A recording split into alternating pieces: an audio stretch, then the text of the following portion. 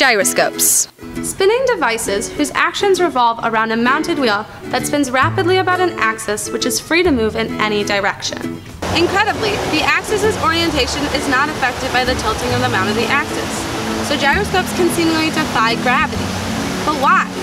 What makes gyroscopes apparently weightless? Before getting mixed up with any more lengthy definitions, let me demonstrate. Take this wheel for instance. It falls, but if I spin the wheel before I drop it, it spins and does not fall. This phenomenon can be described through pages of mathematical analysis or through a few concise demonstrations. You see, when the wheel is stationary, gravity acts on it, causing the top of the wheel to move left and down, causing the bottom of the wheel to move right and up. This is expected. When I spin the wheel, points at the top of the wheel do still fall left and down, but since the wheel is in motion, those same points a split second later are now at the bottom of the wheel, and the left and down motion is now flipped. So the points at the bottom of the wheel now want to move left and up. This is inversely true for the bottom of the wheel. At the bottom, the points at the bottom want to move right and up. But when I spin it, they're now on the top, and that motion flips. So now at the top, they want to move right and down. Due to the constant switching motion about the axis of rotation, the wheel remains upright, spinning in a circle, because it cannot decide which way it wants to fall.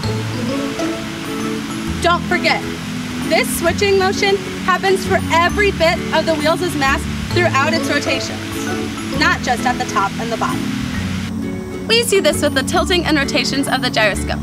When the gyroscope tilts right due to gravity, the mass tilting right immediately finds itself tilting left because the rotations are so quick and offset the tilt of the gyroscope. When the gyroscope spins very quickly, we do not notice the switching of the tilt at all. The gyroscope will remain upright until friction slows the gyroscope to the point of precession. The tilt takes effect, and the gyroscope will subsequently fall. To go further into the topsy-turvy topic of the gyroscope, let's address gyroscopic precession. Gyroscopic precession means that if you apply a force at any point on a rotating object, the force will take effect 90 degrees later in the rotation.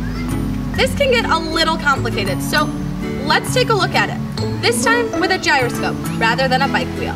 This gyroscope has a torque acting counterclockwise, causing the gyroscope's flywheel to spin. We know, due to the right-hand rule, that angular momentum in this case is pointing out of the top of the gyroscope. Gravity is a downward force and creates a torque about the base point of the gyroscope.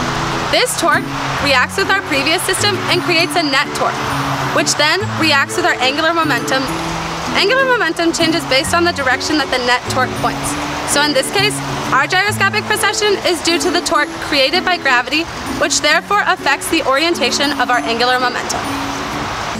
Now that we've scratched the surface, let's explore gyroscopic precession in the real world. A common medical tool, the magnetic resonance image, or MRI, uses hydrogen atoms in water to create an image of the body. Hydrogen atoms as nuclei have an angular momentum because they have an uneven amount of protons and electrons in the atom creating a net spin. The magnetic resonance image uses a magnetic field to create a nuclear compass, which then creates atomic precession. Atomic precession releases small electronic pulses, which are then used to map out tissues in the body. The neatest example of gyroscopic precession I can think of is of the helicopter. Many people wonder just how helicopter steering works. You may have thought, previous to this video, that in order to move the helicopter forward, you would need to create a lift force on the back blade, which would tilt the blades forward and move the helicopter forward.